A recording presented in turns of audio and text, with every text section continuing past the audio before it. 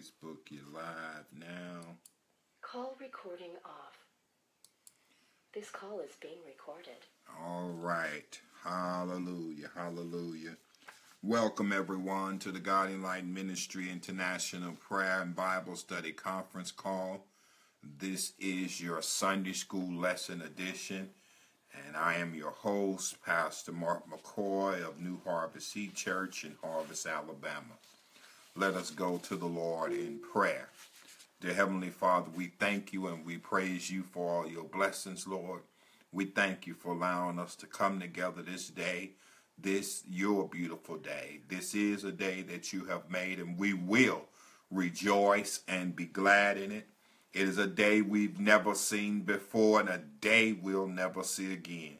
So, as always, Lord, we give you all the glory and we give you all of the praise. Bless us now as we get ready to study your Sunday school lesson.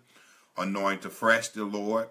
Uh, all of us, even me as the speaker and those who are listening, anoint us afresh that we might receive a word from you and that we not just be hearers of your word, but that we be doers of your word. We plead the blood over this technology, over the, the conference call technology, over the Facebook technology and all of that stuff, Lord, all this stuff going on, we just plead the blood of Jesus. And we plead the blood of Jesus over every household represented on this call and on this broadcast and those that are going to be listening to it in the future. Lord, we plead your blood. You know what we stand in the need of. You know what the desires of our heart are. And Lord, we declare and decree that you are a God of promise and you will keep your promise. So we thank you for this. In Jesus' name, amen and amen. All right, our lesson this morning is a is one of those kind of deep lessons, if you will. Uh, Paul is is is in the midst of discussing an argument. Uh, uh, uh he's giving this this argument to try to help these people in Galatia uh, to understand that that you you are free, you are not bounded by anyone, and and what what Paul wanted them to understand, you used to be in bondage, but now you've been set free. Stay free. And so, if you will, I put a tag on this on this text to say, now you know, stay free. And some of you may say, what are you talking about? Now you know, stay free once you have accepted Jesus Christ as your Lord and Savior, once you have heard the gospel uh, of Jesus Christ about his death, his burial, and his resurrection, then the truth, the word of God says, the truth shall set you free. That sets you free from the bondage of sin, from the bondage of slavery. Now, now understand, understand. You say, well, I I, I, I, I ain't never been no slave. Well, you might have been slave to, to drugs and alcohol. You might have been slave to, to uh, promiscuous wild living. You might have been bondage in, in somebody's sex ring or, or even yourself being caught up in all of that kind of stuff. And, and what he's saying is, you've been set free from that once you accept Jesus Christ as your Lord and Savior. And being that you've been set free, Stay free. Stay free. Well, now now let's get down into the theology of this. That that's I wanted to make sure I pull that out right off the top because people need to understand that once we we believe in the Lord Jesus Christ, He's doing an awesome work in our lives to keep us free, to set us free from whatever sin's penalty is its its power, its position, all of that stuff. God is setting us free from that. It's a progressive thing of sanctification that happens over and over and over again as long as we come confessing Him as and, and telling Him we have sinned and fallen short. But we, are not really dealing with all of that in this text. Paul Paul's got a problem. He says, "I'm dealing with this Galatian church." And they are acting like they want to go back and do what they used to do. And I'm like, whoa, whoa, whoa, Paul says, let's stop all of that. We, you know better. And once you know better, you ought to do better. So, so let's read the text so we can get a greater understanding. I'm going to read it in part. Galatians chapter 4, and we're going to start with verse 8 and read down to 11 because I just I want to make sure we digest this just a little bit, little bite at a time. He says, Then, but then indeed, you, when you did not know God, you served those which by nature are not God's. But now, after you have known God, or rather are known by God, how is it that you turn again to the weak and and beggar and beggarly elements to which you desire again to be in bondage? And he says, You observe days and months and seasons. I'm afraid for you, lest I have labored for you in vain. What Paul is saying is that the Galatians have now been deceived. They have accepted Jesus Christ as their Lord and Savior. But now there are these guys that's coming around called Judaizers. These guys are trying to convince uh, the Galatians that they ought to go and serve this Jewish tradition, uh, Jewish rituals that uh, uh, that all of the Jewish people have been following in order to be a great Christian or a good Christian. Let me let me let me make you explain. Let me make you explain. Let me back off a little bit. So so here we have here we have Paul uh, been going around preaching all these Gentiles. Gentiles are non-Jewish people. And all of these Gentiles all over the known world at that time were accepting Jesus Christ as their Lord and Savior. They were believing in his death, his burial, and his resurrection. Paul was assigned as an apostle to preach to the Gentiles, even after he was the one who used to be a Pharisee and he used to go around persecuting those of the church. And then he got knocked off of his horse and God picked him up, turned him around, and placed his feet on solid ground, gave him a vision to preach to the to the to the uh, Gentiles. So after he started doing this and people became saved, they accepted Jesus Christ, they were filled with the Holy Spirit.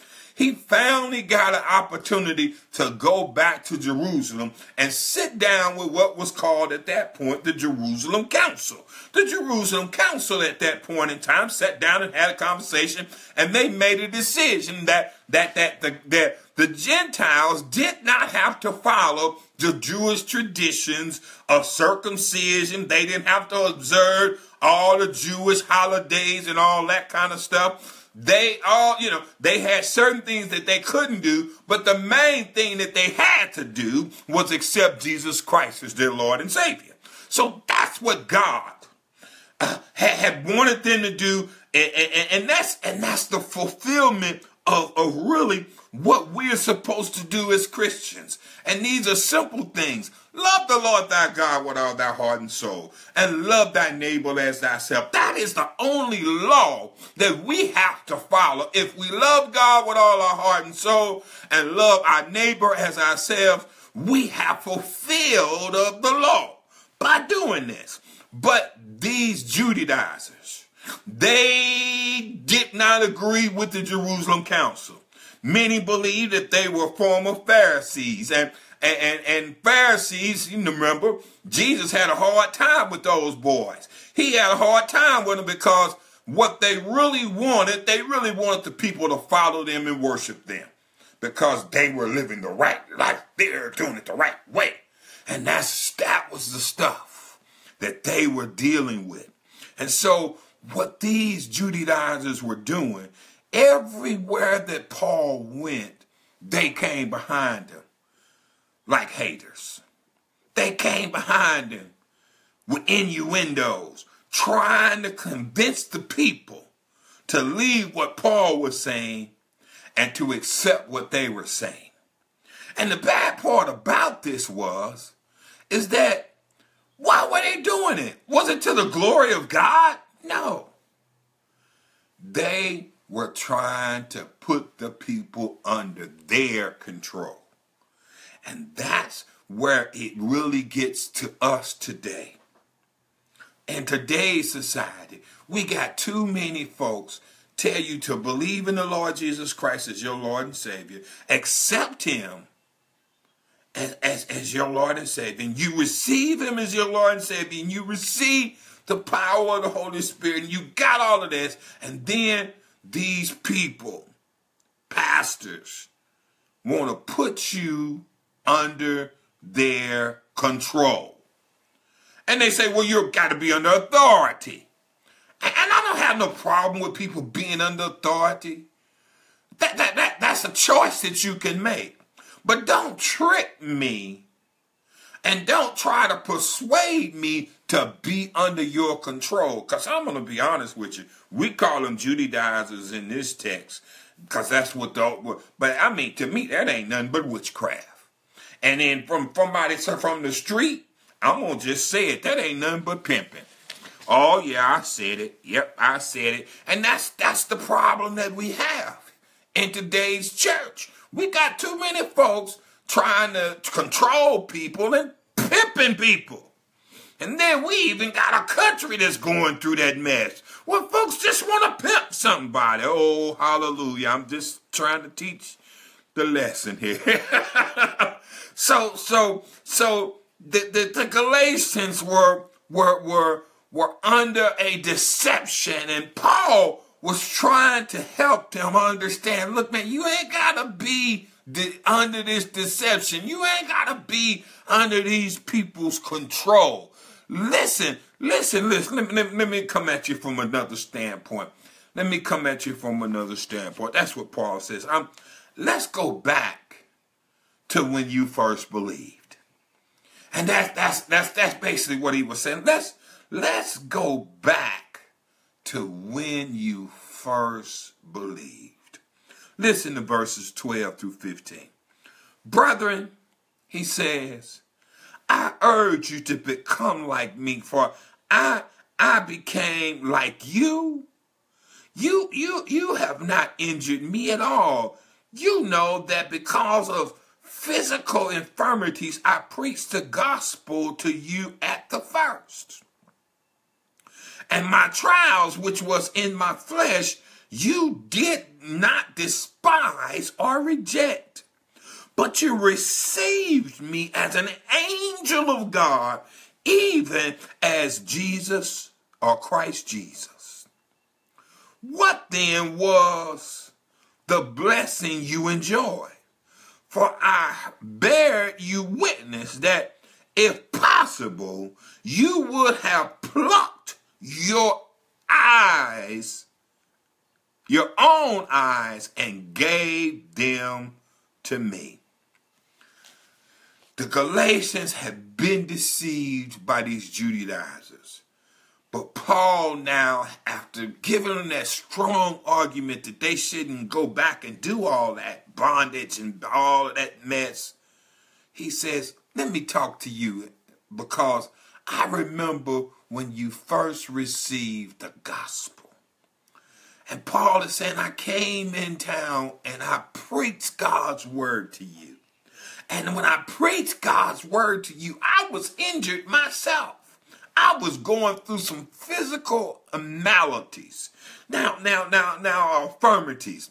Now, some have said, well, what is these infirmities Paul is talking about? Well, some believe that he might have had malaria.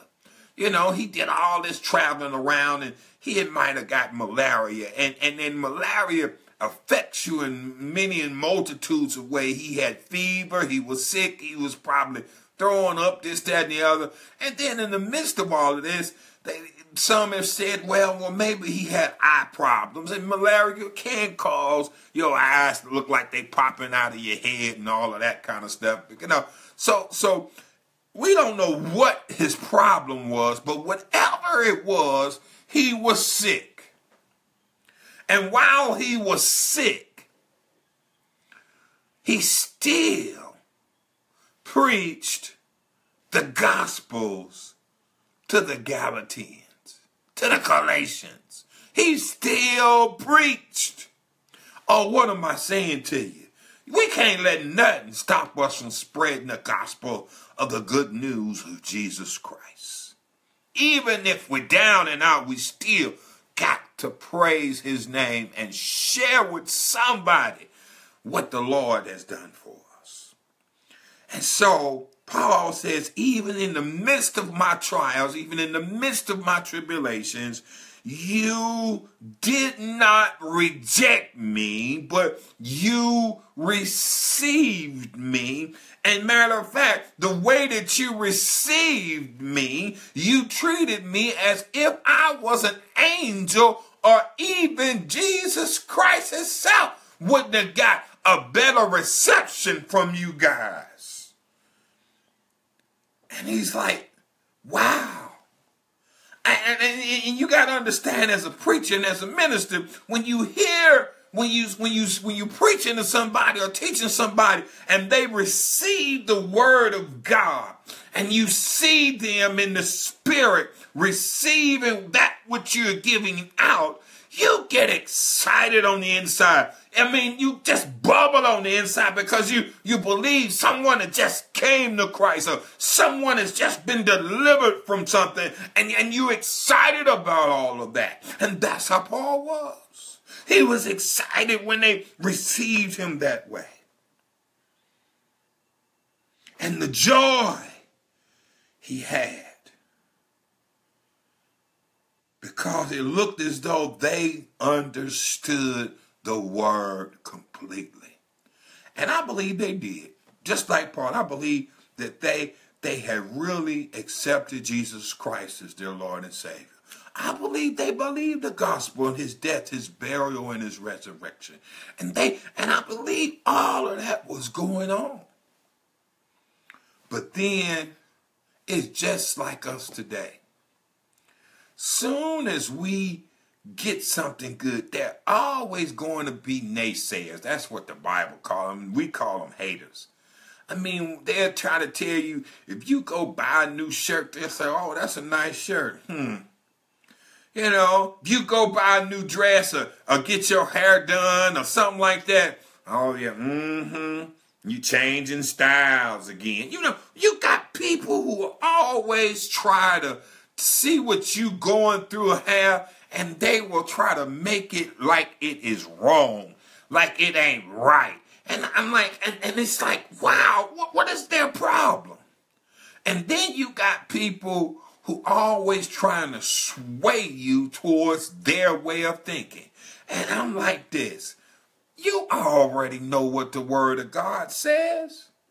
We are saved by grace and that through faith in Jesus Christ. Let me say that again. We are saved by grace, and that is through faith in Jesus Christ.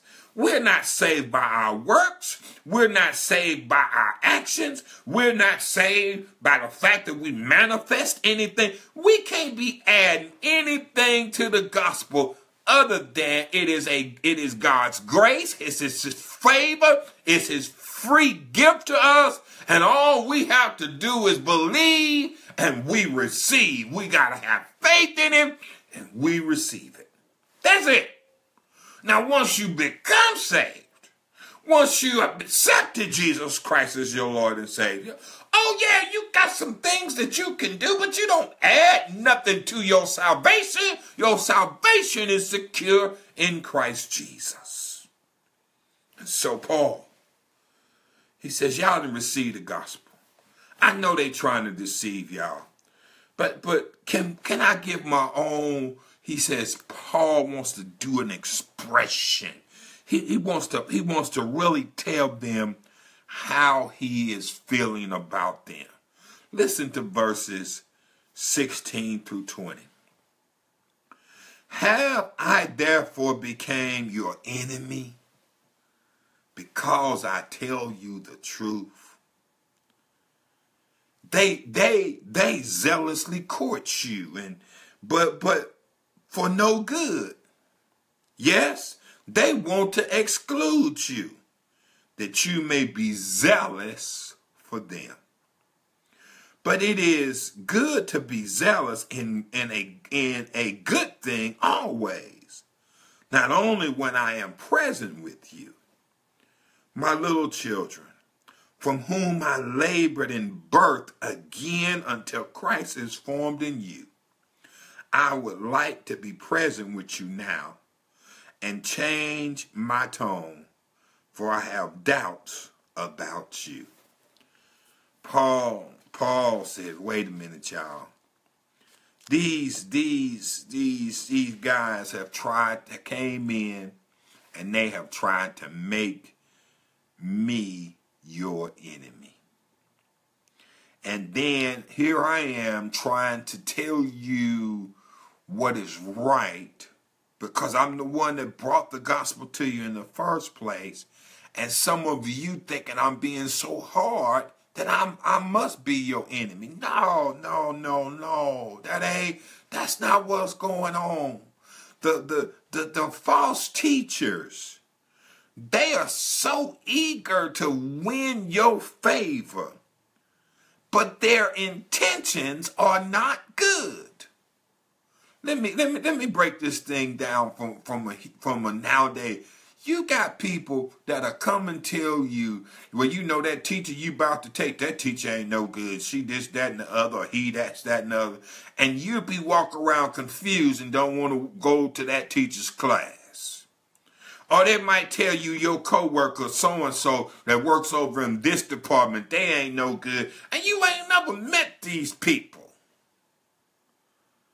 because they got something against them and they trying to get you swaying upon their side. Are you in the church? And so and so's auxiliary always doing good, and you admire their auxiliary, but so and so over here's auxiliary or committee you know, you associate with them and they say, well, you don't want to be over there with that group and you don't want to be dealing with them because she's so and so and so or he's so and so and so. Oh man, stop listening to that mess. We grown folks. That he say, she say mess. We're grown.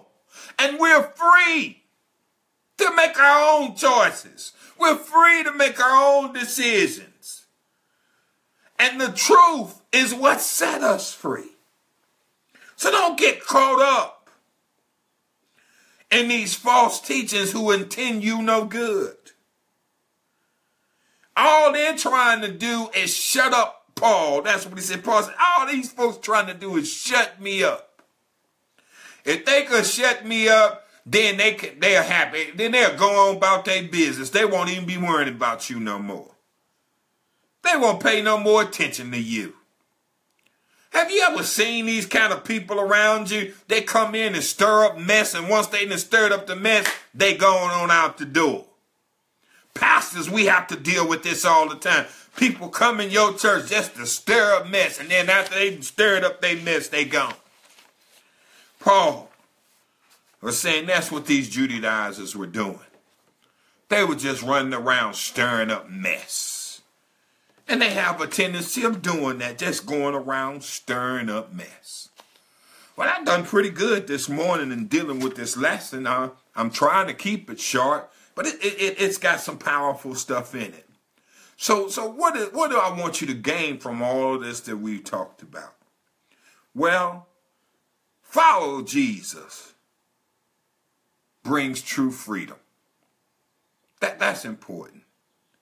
And, and, and we don't have to earn freedom in Christ by following people's rules and regulations. We have this free gift of his love by just believing in him always. That's what this is all about.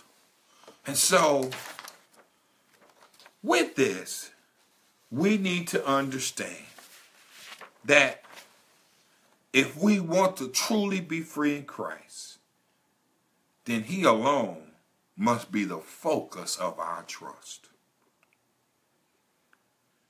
When we look back at these Galatians, and their situations,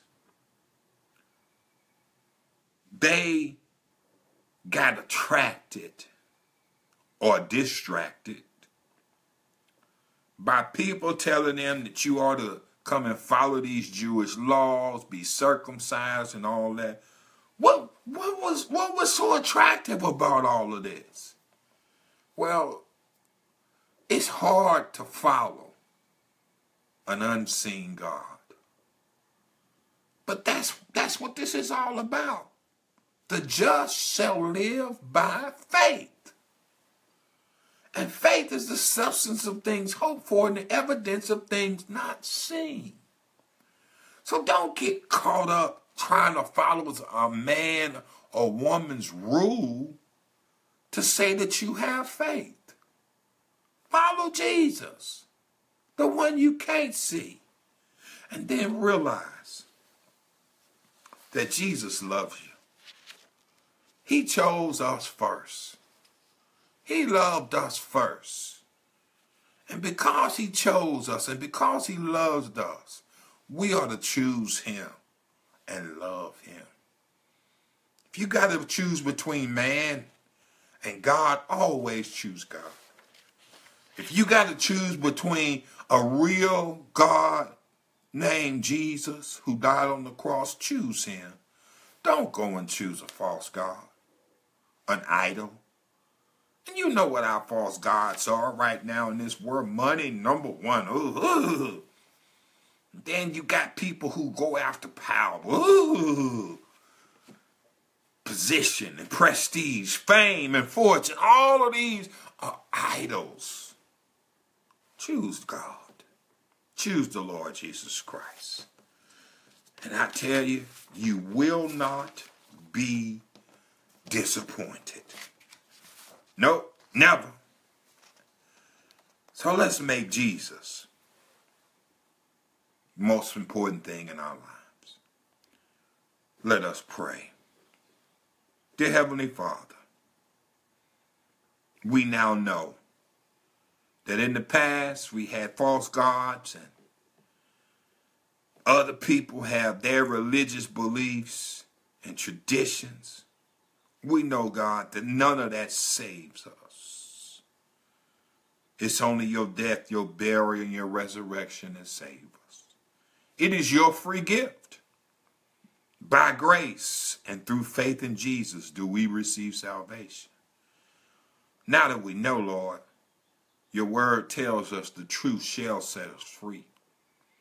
Help us to stay free, God. Help us to stay free in you. Free to choose you, God. And we choose you right now in the name of Jesus. Thank you, Lord. Help us to make the choices, the right choices, by choosing you in every step that we take and every move that we make. We thank you, God. In Jesus' name. Amen. Before I close the Facebook and the recording, uh, we always like to pray the prayer of salvation for those that are listening. Father God, I confess with my mouth and believe in my heart that Jesus died for my sins and was buried and that you raised him from the dead. I repent of my sins. Please forgive me of my sins and come into my heart, Lord Jesus. I invite you to become the Lord of my life, to rule and to reign in my heart from this day forward. Please send your Holy Spirit to help me do your will for the rest of my life. In Jesus' name I pray. Amen. You prayed that prayer and truly believe it in your heart. You are now saved. For those on Facebook, we're going to close this session and you can go back and listen to it in its entirety. Um, but we're also going to be on overtime on our conference call line where we can have a discussion. If some have some questions, some thoughts they want to add to the lesson, our conference call number is um, 910. That's the area code 910. Then 218 0531. And we'll be on the conference call having discussions in overtime. Thank you to those of you who are on Facebook with us. Be blessed and always be a blessing. And we'll see you next Sunday. May God bless you and keep you on Facebook. Bye bye.